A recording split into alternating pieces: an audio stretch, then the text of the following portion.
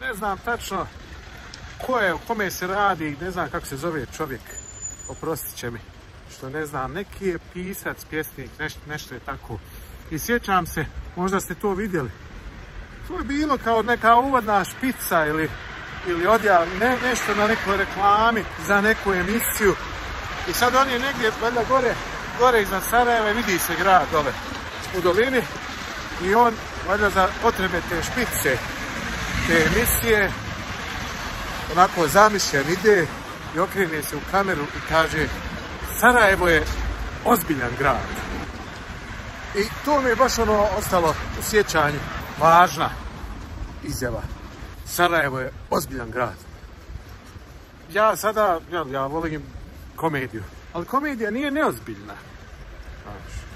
Nekad je neozbiljno biti pretjerano morbidan. Pretjerano ozbiljavati situaciju. Drama. Drama, to je ozbiljno. A komedija ko bila nije ozbiljna, ona je neozbiljna. Najteže je nasmijat ljude.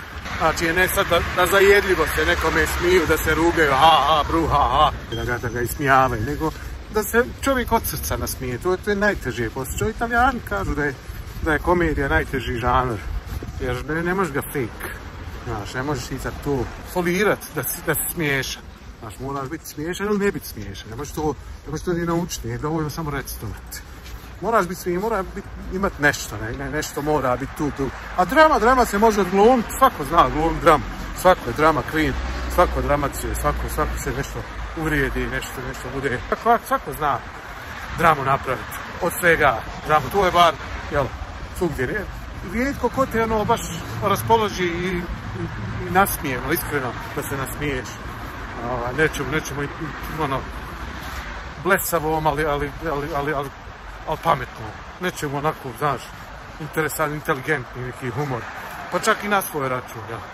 E, e sada, valjda sad po- postoji taj neki sistem vrijednosti gdje je ozbiljno, je uvijek najozbiljnije, najvažnije. To je važno, nešto je važno od toga što je ozbiljno. Komedija nije važna od toga što je neozbiljna. Ljudi se prave važni, vole da se prave važni i onda tako uozbilje. Sam ozbiljan čovjek, ja sam ozbiljan čovjek. Sam ozbiljan čovjek, ja sam ozbiljna budala. Ozbiljna budala. Opasan, opasan, čovjek, čim si opasan, ti si ozbiljan. Si ozbiljna budala. Opasan, čovjek, opasan, kaže, opasan si. Znači, ozbiljan, to još ozbiljnije. Kad si opasan, opasan, opasna budalava, ozbiljna budala. Znači, onako malo lud, blesav, nego ozbiljno lud. Znaš, sistem vrijednosti, možeš ti biti velika budala, ali si ono smiješan sva, ja nego, joj jesi budala. Znači, moraš biti ozbiljna budala. Znači, da budeš opasna budala. Opasan po život, opasan po zdravlje ljudi. Opa, I to je kao vrh, vrhunac. E, to je taj, eto, sistem vrijednosti, koji ja, ono, meni je žao što je to tako.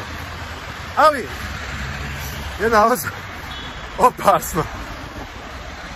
Valjda sve u tom nekom smislu, kaže, slogan je to primijetio, slogan za oslobođenje Sarajevske novine, jel? Sarajevsko oslobođenje, oslobođenje novine u Sarajevu.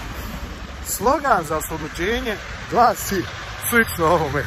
Sarajevo je ozbiljan grad. Kaže, oslobođenje za one koji znaju čitati. Sarajevo je ozbiljan grad. Liči mi na to.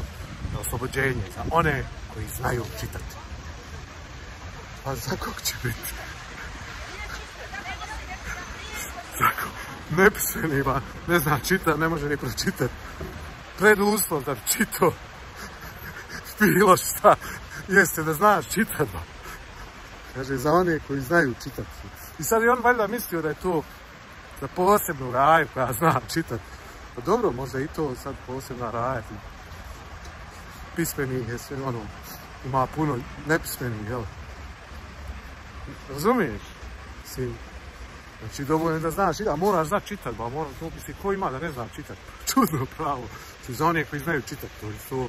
A skoro da ništa drugo nije, ne možeš ta pronaći drugi, recimo, olovka za one koji znaju pisati. Ne mora znati pisati, može šarat, jel? Ali knjiga, sam sad pišeš knjigu, ja sam napisao knjigu samo za one koji znaju da čitaju.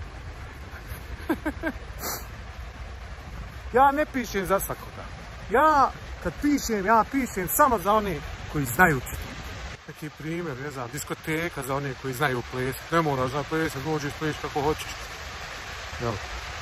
Trotoar, ne znam, za one koji znaju hodat. Ne moraš znati hodat, možeš malo dijete izvesti, da još nije ni prohodalo da se uči hodat, koristi trotoar, jel tako? Ne znam šta, bazen za one koji znaju plivat, ne mora znati da staviš šlauf i koristiš bazen. Kako da ti objasnim? Skoro da nema ništa. Da je tako apsurdno kao napisat slogan novine oslobođenje za one koji znaju čitati. Pa naravno, za koga će drugog biti? Ne može biti za one koji ne znaju čitati, ne, ne može ga pročitati. Preduslov je da moraš znati čitati, da bi čitao. Znači, nema, nema uopšte novina za one koji ne znaju čitati. Razumiješ? Ne, postoji taj koncept. Zvuči ozbiljno, slažem se. Za one koji znaju čitati uzvičnik. Znači uzvičnik na kraju.